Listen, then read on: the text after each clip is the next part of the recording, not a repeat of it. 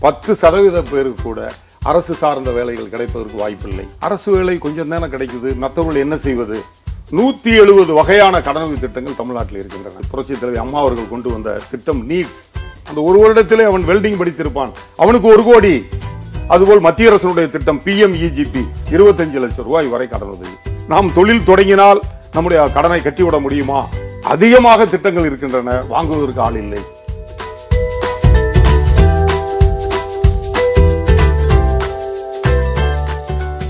வணக்கம் நேர்களே. இன்று நமது அரங்கத்திற்கு எழுத்தாளர் விழிப்புணர்வு பேச்சாளர் தொழில் மற்றும் விவசாய ஆலோசகர் திரு எம். ஞானசேகர் அவர்கள் வருகை புரிந்துள்ளார். அவரை உங்களது சார்பிலும் மக்கள் குரல் தொலைக்காட்சி சார்பிலும் வரவேற்கிறோம். வணக்கம் சார். வணக்கம். சார் உங்களை பத்தி நேர்களுக்கு கொஞ்சம் சொல்லுங்களேன். ரொம்ப மகிழ்ச்சி உங்களுடைய அரங்கத்திற்கு வந்து என்னை பற்றி நீங்கள் கேட்டதுக்கு ரொம்ப என்னுடைய நன்றியை தெரிவிச்சுக்கிறேன். என்னுடைய பெயர் எம். ஞானசேகர். வயது அறுபத்தி மூணு. இந்த தொழில் மற்றும் விவசாய ஆலோசனை துறையிலே ஏறக்குறைய முப்பது ஆண்டு காலம் எனக்கு அனுபவம் இருக்கிறது. கடந்த முப்பது ஆண்டு காலமாக நான் போகாத கருத்தரங்கம் இல்லை. நான் போய் பார்க்காத தொழில் விவசாய கண்காட்சி இல்லை. அப்படி பல இடங்களுக்கு சென்று எனக்கு கிடைத்த தகவல்களை எல்லாம் எழுத ஆரம்பித்தேன்.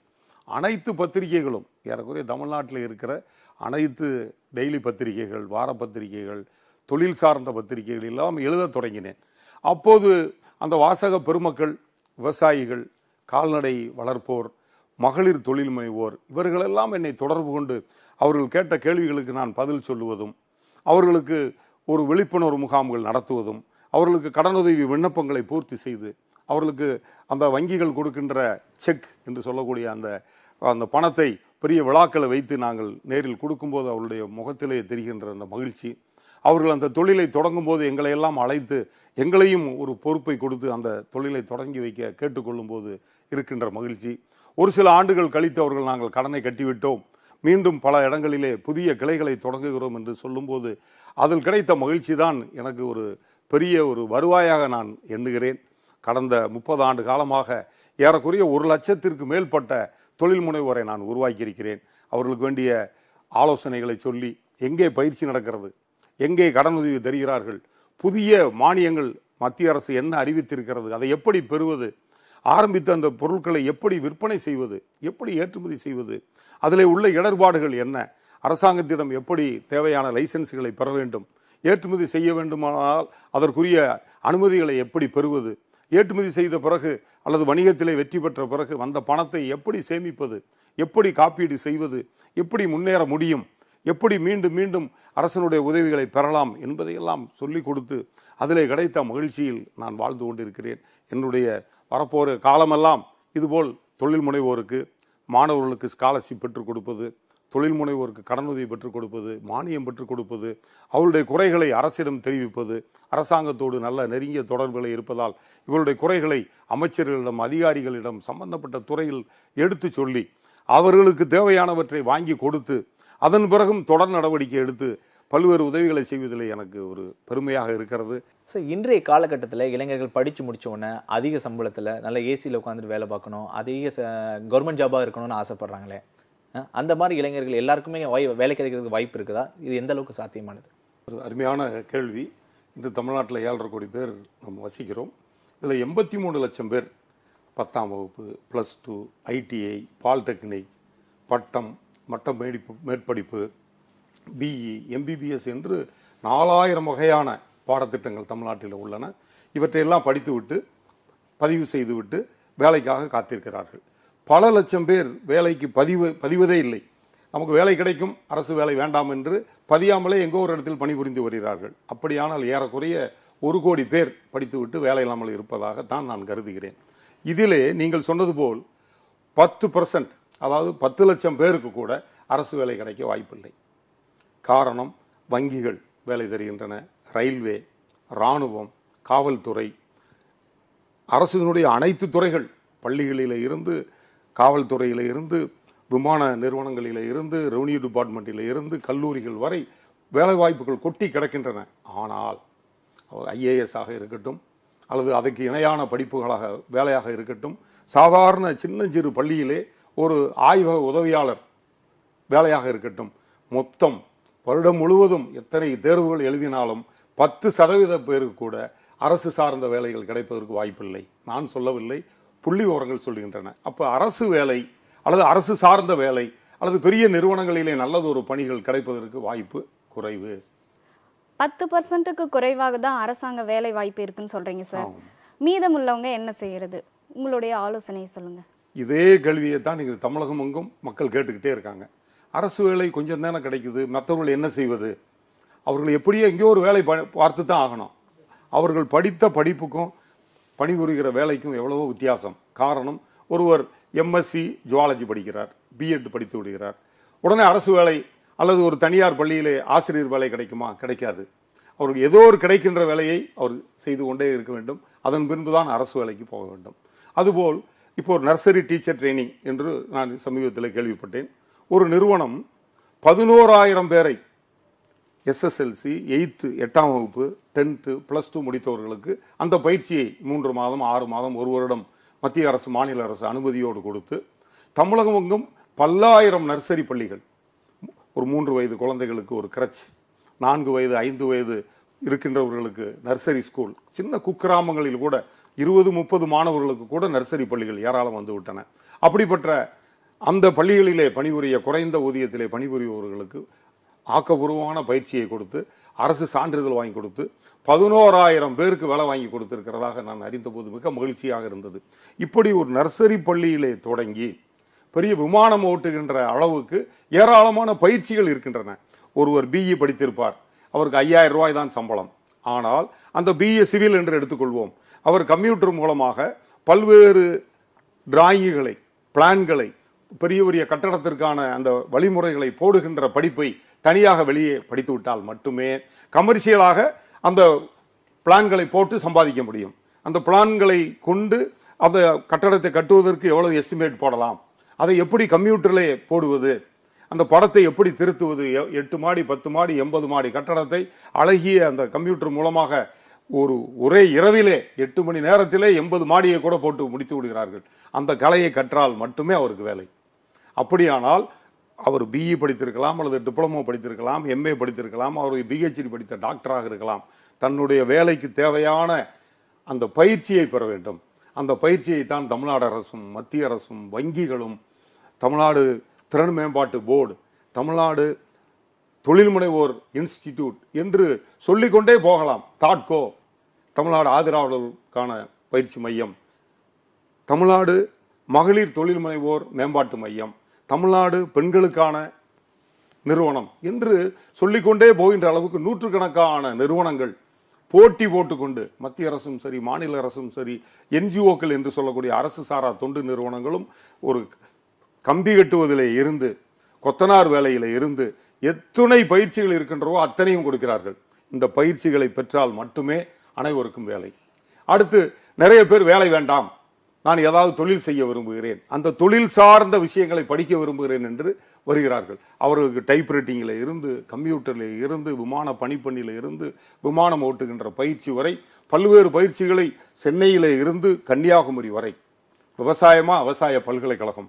ஆங்காங்கே கிளைகளை தொடங்கி தங்களுடைய கிருஷி விஞ்ஞான் கேந்திரா என்று சொல்லக்கூடிய விவசாய விஞ்ஞான கேந்திராக்களை பல இடங்களிலே தொடங்கி விவசாயம் சார்ந்த பயிற்சிகளை இலவசமாக கொடுத்து கொண்டே இருக்கிறார்கள்.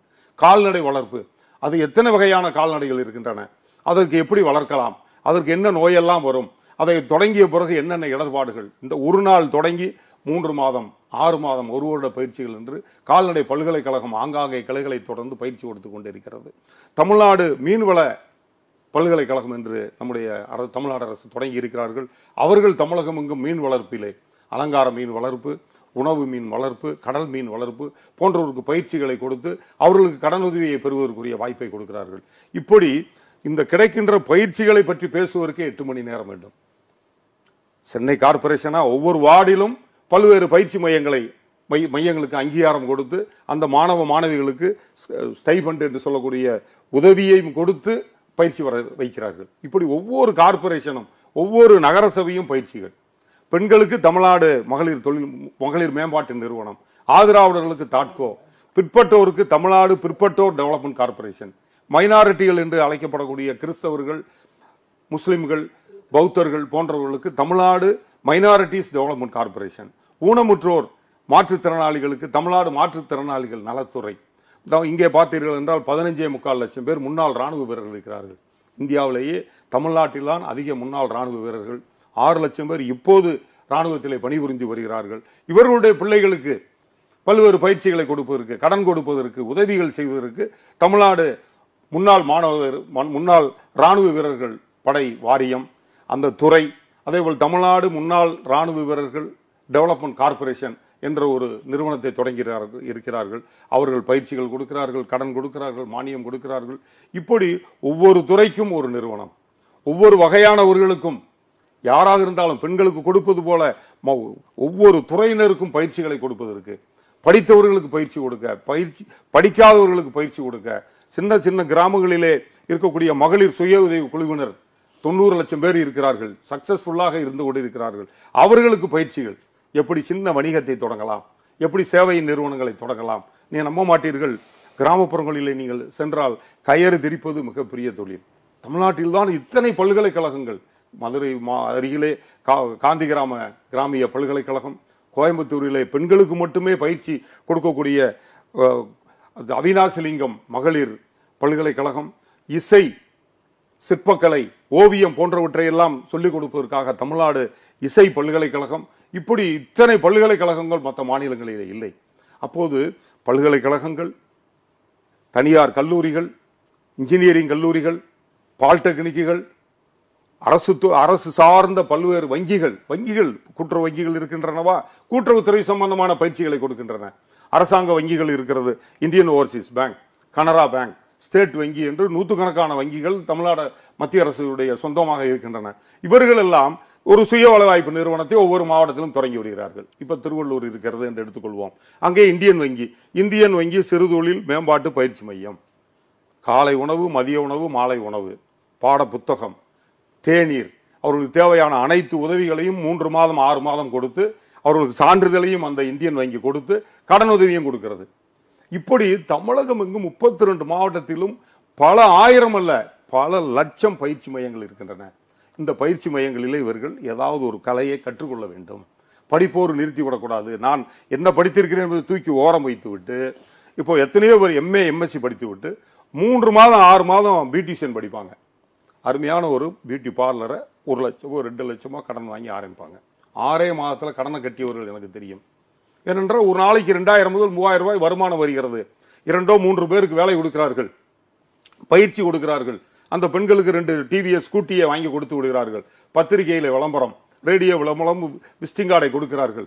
ஆங்காங்கே மணமக்களுக்கு புதிய புதிய நிகழ்ச்சிகள் நடக்கும்போது அந்த பெண்களுக்கு குழந்தைகளுக்கு அந்த அழகுபடுத்துவதற்கு பைக்கிலே சென்று அங்கே போய் அவர்களுக்கு அந்த அழகுபடுத்தி விட்டு திரும்புகிறார்கள். இன்று ஐ- ஐந்து வயது குழந்தையாக இருந்தாலும் சரி அறுபது வயதான தாய்மாராக இருந்தாலும் சரி முடிவெட்டுவதற்கோ புருவத்தை சரி செய்வதற்கோ என்ன உணவு சாப்பிடலாம் என்ன உணவு சாப்பிட்டால் அழகாக ட்ரிம்மாக இருக்க முடியும் இதையெல்லாம் இந்த வகுப்பாகவே எடுக்கிறார்கள் அந்த அழகுக்கலை மையத்திலே. அப்போது அவர் படித்த படிப்போ எம்ஏ அல்லது எம்எஸ்சி அல்லது பிஎஸ்சி பிஎட் இந்த மூன்று மாத பயிற்சி அவருடைய வாழ்க்கையை மாற்றி விடுகிறது.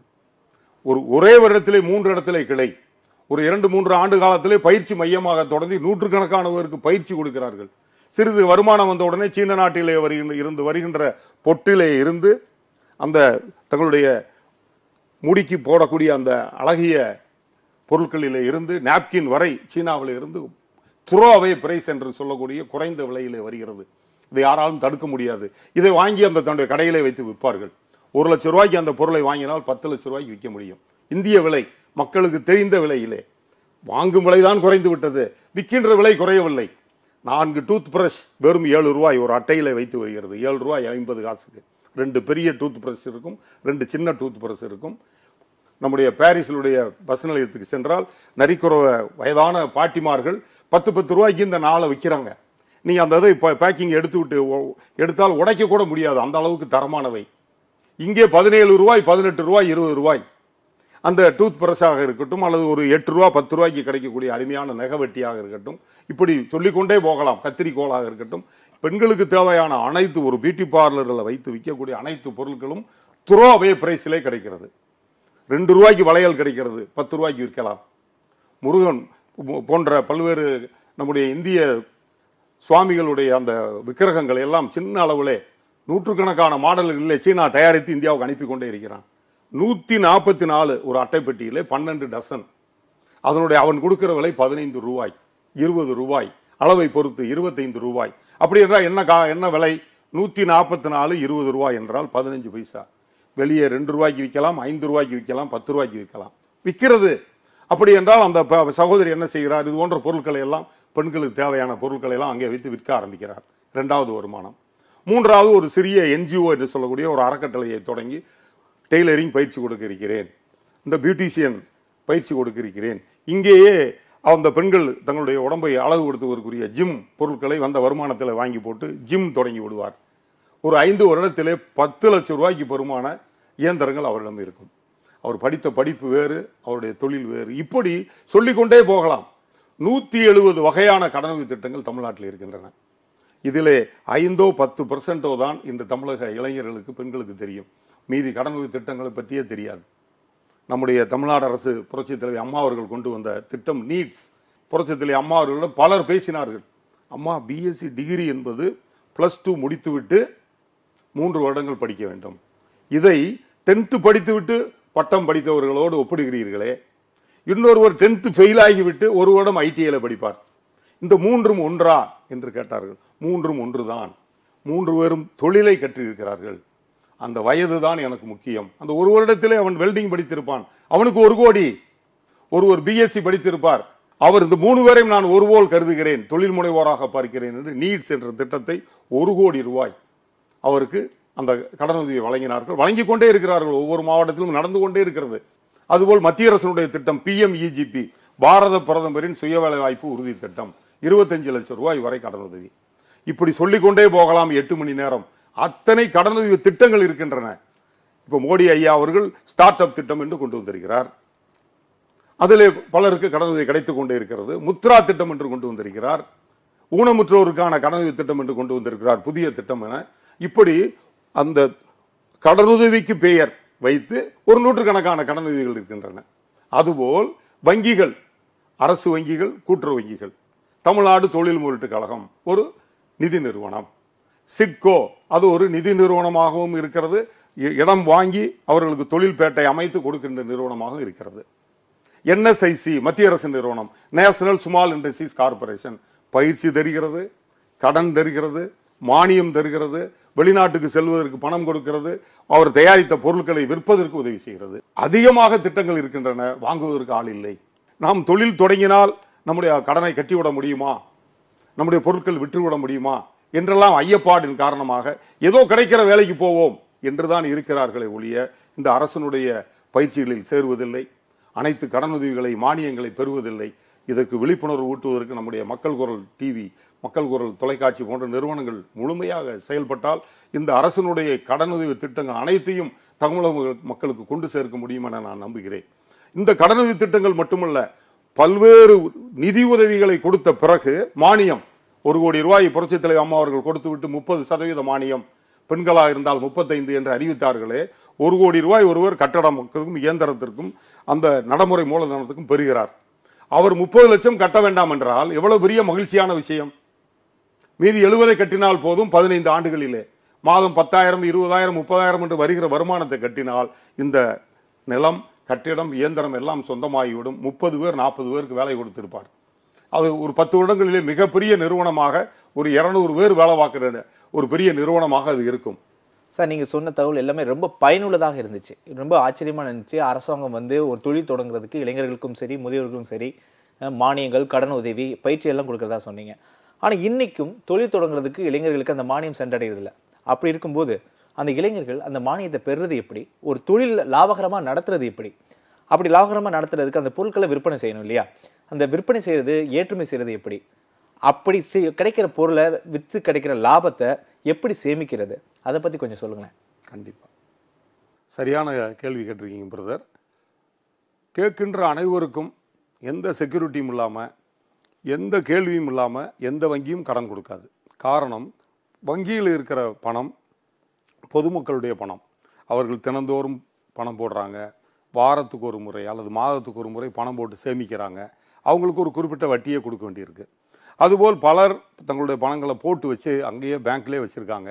அந்த பணத்தை எடுத்து தான் தொழில் கடனாக இருக்கட்டும் வணிக கடனாக இருக்கட்டும் வீட்டு கடனாக இருக்கட்டும் கல்வி கடனாக இருக்கட்டும் அரசு அல்லது வங்கிகள் கொடுக்க முடியும்.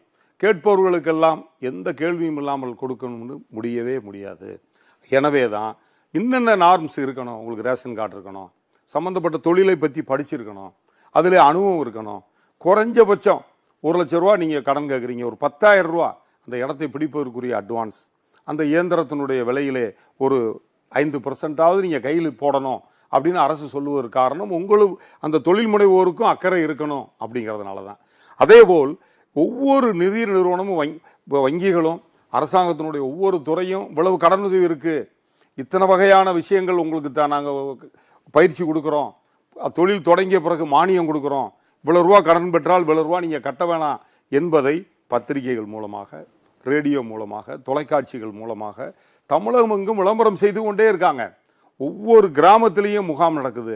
ஒவ்வொரு தாலுகாவிலையும் விழிப்புணர்வு முகாம்கள் நடக்குது. ஒவ்வொரு மாவட்ட ஆட்சி தலைவரும் ஒவ்வொரு மாவட்டத்திலையும் தொழில் கருத்தரங்கங்கள் நடத்தி என்னென்ன கடனுதவி இருக்குது அப்படிங்கிறத எல்லாத்துக்கும் தெரிவிக்கிறாங்க. ஒவ்வொரு நிதி நிறுவனமும் அது சிட்பியாக இருக்கட்டும் அல்லது என்எஸ்சிசியாக இருக்கட்டும் தமிழ்நாடு மீன் வளர்ச்சி கார்பரேஷனாக இருக்கட்டும் யாரெல்லாம் உதவி செய்கிறாங்களோ அவர்கள் எல்லாம் விளம்பரம் செய்கிறார்கள். பத்திரிகைகளிலே மாத பத்திரிகை வார பத்திரிகைகளிலே விளம்பரம் செய்கிறாங்க டிவியில் விளம்பரம் போடுறாங்க பல்வேறு இடங்களில் பெரிய பெரிய வால் போஸ்டுகளை ஒட்டுறாங்க விழிப்புணர்வு முகாம்களை நடத்தி வாங்க வந்து தொழில் கடன் உதவி பெற்றுக்கொள்ளுங்கள் என்று விண்ணப்பங்களை கையிலே கொடுக்குறாங்க. அதன் மூலமாக ஏராளமானவர் பயன்பெற்று வர்றாங்க. அப்படி யாருக்காவது கடனுதவி வேண்டுமென்றால் முதலில் அணுக வேண்டிய இடம் தமிழ் ஒவ்வொரு மாவட்டத்திலையும் மாவட்ட தொழில் மையம் என்று அரசாங்கமே நியமித்திருக்காங்க. யார்கிட்ட எந்த வங்கியில் கேட்டாலும் சொல்லுவாங்க. உடனடியாக போய் அவர்களை அணுகி அங்கே பயிற்சி கொடுப்பாங்க ஆலோசனை சொல்லுவாங்க. எத்தனை வகை கடனுதவி திட்டம் இருக்கோ அதனுடைய விண்ணப்பங்களை கொடுப்பாங்க. அதுபோல் இப்போ நபார்டு வங்கி இருக்குது இந்தியாவுடைய பெரிய வங்கி அதுதான். நீங்கள் ஏதாவது விவசாயம் சார்ந்த கடன் பெறணும். அல்லது ஒரு உணவு சம்பந்தமான கடன் பெறணும்.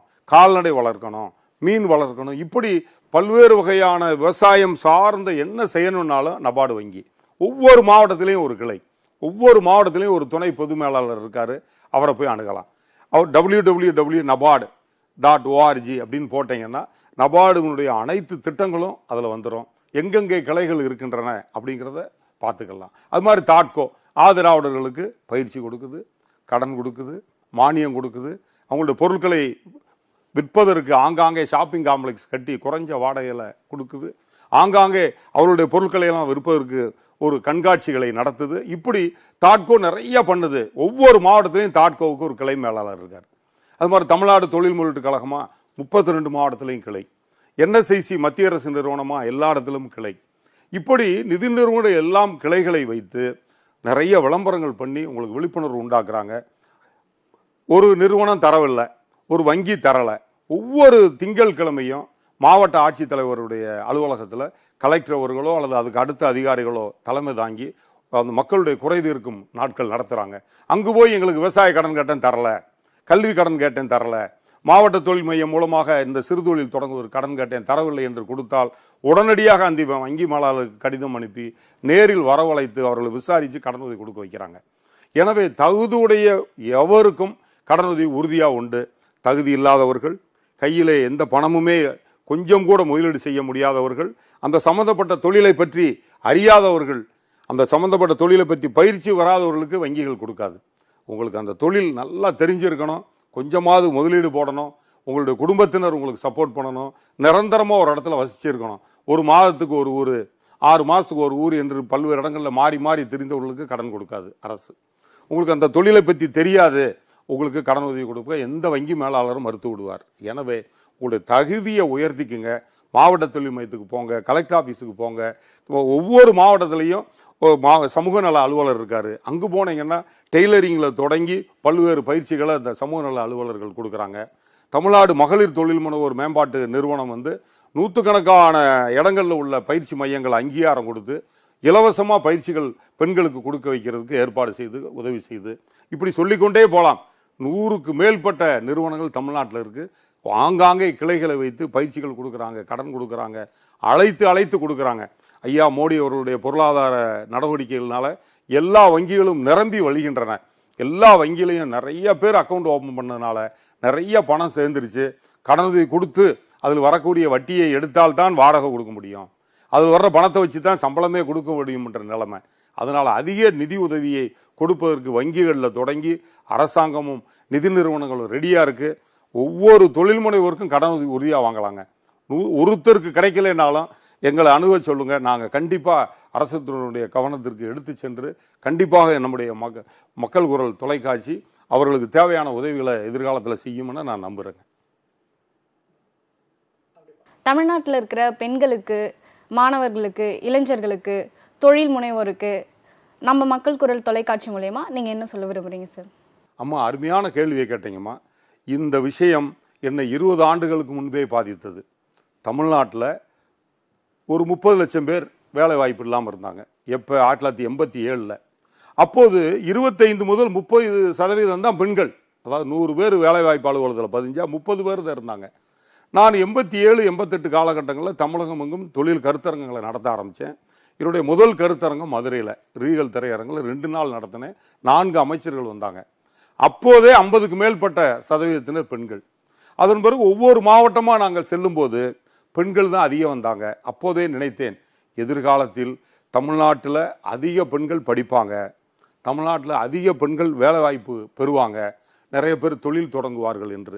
எனவே தான் ஆயிரத்தி தொள்ளாயிரத்தி தொண்ணூற்றி ரெண்டாம் ஆண்டு தென்னிந்திய மகளிர் தொழில் முனைவோர் சங்கம்ன்ற ஒரு சங்கத்தை நிறுவுவதற்கு நான் உதவியாக இருந்து அந்த சங்கத்தை நிறுவனம் அது இப்போ இருபத்தைந்தாவது ஆண்டு விழா வருகிற ஜூலை ஆகஸ்ட் மாதங்களில் அது கொண்டாட இருக்கிறது. அப்போது நான் நினைத்தது போலவே இப்போ பார்த்தீங்கன்னா உங்கள்கிட்ட சொன்னேன் எண்பத்தி ரெண்டு லட்சம் பெண்கள் படித்து விட்டு வேலை இல்லாமல் இருக்காங்கன்னு. எண்பத்து எண்பத்தி ரெண்டு லட்சம் இளைஞர்கள். அதிலே ஐம்பத்தோரு சதவீதம் பெண்கள். இருபத்தைந்து முப்பது சதவீதம் இருந்தவர்கள் இன்று ஐம்பத்தோரு சதவீதம். இன்று பத்து ஆண்டுகளிலே தமிழ்நாட்டிலே வேலை இல்லாமல் இருப்பவர்களிலே பதிந்து வைத்திருப்பவர்களிலே எழுபத்தஞ்சு சதவீதம் பெண்களாக இருப்பார்கள் இது உறுதி. இதை உணர்ந்து கொண்ட அரசுதான் இன்று ஐம்பது சதவீதம் சாதாரண ஒரு கவுன்சிலர் பதவியிலே இருந்து எம்எல்ஏ எம்பியிலே இருந்து மேயர் வரை வரப்போகிற காலத்தில் விரைவாக வருகின்ற தேர்தலிலேயே உள்ளாட்சி தேர்தலிலேயே ஐம்பது சதவீதம் உள்ளாட்சி பதவிகளுக்கு பெண்கள் வர இருக்கிறார்கள். தமிழ்நாட்டிலே தமிழ்நாடு அரசின் சிட்கோ நிறுவனம் ஐந்து ஆறு இடங்களிலே மகளிருக்கான தொழில்பேட்டை. அங்கு மகளிர் மட்டுமே தொழில் தொடங்க முடியும். அவர்களுக்கு மானியம் அனைத்து உதவிகளும் உண்டு. அதுபோல் தமிழ்நாட்டில் எங்கெல்லாம் தொழில் பேட்டைகள் இருக்கின்றதோ அதில் முப்பது சதவீத இடஒதுக்கீடு பெண்களுக்கு. பெண்களுக்கெனவே பல்கலைக்கழகம் பெண்களுக்கெனவே ஒரு டெவலப்மெண்ட் கார்ப்பரேஷன் என்று பெண்களுக்கு பயிற்சியாக இருக்கட்டும் கடனுதவியாக இருக்கட்டும் அதிகபட்ச மானியம். பெண்களுக்கு அதிக வேலை கொடுத்தால் மானியம்.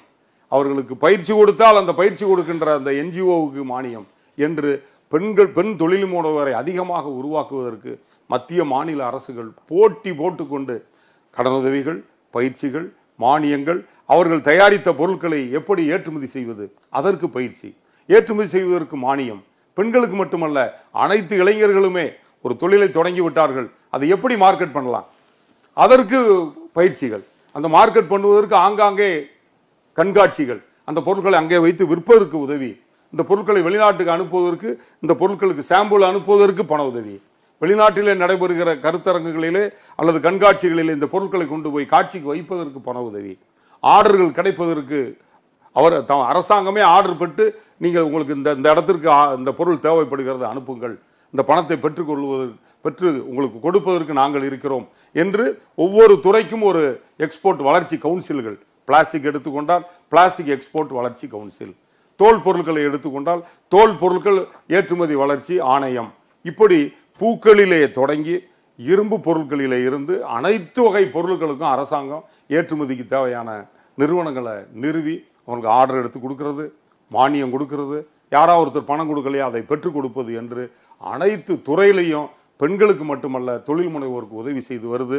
எனவே நம்முடைய மக்கள் தொலைக்காட்சி வழியாக நான் மக்கள் மக்கள் குரல் தொலைக்காட்சி வழியாக நான் கேட்டுக்கொள்ள விரும்புவது மாணவ செல்வங்களே உங்களுக்கு ஒன்றரை லட்சம் ஸ்காலர்ஷிப் திட்டம். ஒன்றாம் வகுப்பிலிருந்து பிஹெச்டி வரை படிப்பதற்கு இந்தியாவிலே படிப்பதற்கு வெளிநாடுகளிலே படிப்பதற்கு கல்வி உதவி தொகைகளை அள்ளி தருகிறது மத்திய மாநில அரசு நிறுவனங்கள் தனியார் நிறுவனங்கள் வெளிநாட்டு அரசுகள். அதை சரிவர தமிழக மக்கள் பயன்படுத்தி கொள்ளவில்லை என்பதை நான் அறிந்து அதில் உள்ள புள்ளி உரங்களை பார்த்து மிக வேதனைப்படுகிறேன். ஒரு ஸ்காலர்ஷிப் வாங்குவதிலே கூட சோம்பேறித்தனமா? மாணவர்கள் மட்டுமல்ல பெற்றோர்களும் விழித்தெழுங்கள் இதர மாநிலங்களோடு போட்டி போடுங்கள். நமது மக்களுக்காக தமிழக மக்களுக்காக எத்தனை வகை கடனுதவி திட்டங்கள் இருக்கின்றனவோ எத்தனை வகை ஸ்காலர்ஷிப் இருக்குதோ அனைத்தையும் பெறுங்கள். அவ பெற்று பெற்றால் நன்றாக அவர்கள் படிக்க முடியும். படி ஏதோ ஏட்டு சுரைக்காய் போல படித்து விட்டு எந்த தொழிலையும் படிக்காமல் முன்னேற முடியாது. அவர் எம்பிஏ படிக்கலாம் அல்லது எம்எஸ்சி படிக்கலாம் அல்லது எம்ஏ ஆங்கிலம் படிக்கலாம் அல்லது ஒரு டிப்ளமா படிக்கலாம். அவர் ஏட்டு சுரைக்காயை விட்டுவிட்டு நேரில் வந்து ஒவ்வொரு தொழிலிலே அவர்கள் ஆர்வமாக பயிற்சியை பெற்று புதிய விஷயங்களை கம்ப்யூட்டரில் வரக்கூடிய விஷயங்களை வலைத்தளங்கள் மூலமாக கற்றுக்கொண்டு பயிற்சிகளை பெற்றால் மட்டுமே பல்வேறு கடனுதவிகளை பெற முடியும் மானியம் பெற முடியும் முன்னேற முடியும். எனவே பயிற்சிக்கு முக்கியத்துவம் கொடுங்கள். அரசு கொடுக்கிற ஒவ்வொரு கடனுதவி சலுகையை பயன்படுத்துங்கள். ஒவ்வொரு துறையிலும் தமிழ்நாட்டிலே அதிக பணம் வந்துவிட்டு திரும்பி செல்கிறது. என்று நம்முடைய அதிகாரிகளும் அரசியல் தலைவர்களும் பேசும்போது மிக வருத்தமாக இருக்கிறது. அனைத்து விஷயங்களையும் அரசினுடைய உதவிகளை எல்லாம் நீங்கள் பயன்படுத்தி முன்னேற வேண்டும் என்று கேட்டுக்கொண்டு இந்த எனக்கு நல்லதொரு வாய்ப்பை வழங்கிய மக்கள் குரல் தொலைக்காட்சிக்கு நன்றி சொல்லி விடைபெறுகிறேன். இன்றைய நிகழ்ச்சியில் கலந்துக்கிட்டு பெண்களுக்கான தொழில் முனைவோருக்கான இளைஞர்களுக்கான பல பயனுள்ள தகவல்களை கொடுத்தமைக்கு மிக்க நன்றி. நன்றி வணக்கம் வாழ்க ஜெய்ஹிந்த். நேர்களே இன்றைய நிகழ்ச்சியின் தகவல்கள் அனைத்தும் மிகவும் பயனுள்ளதாக இருந்தது. மீண்டும் ஒரு அரிய நிகழ்ச்சியில் உங்களை சந்திக்கிறோம். நன்றி வணக்கம்.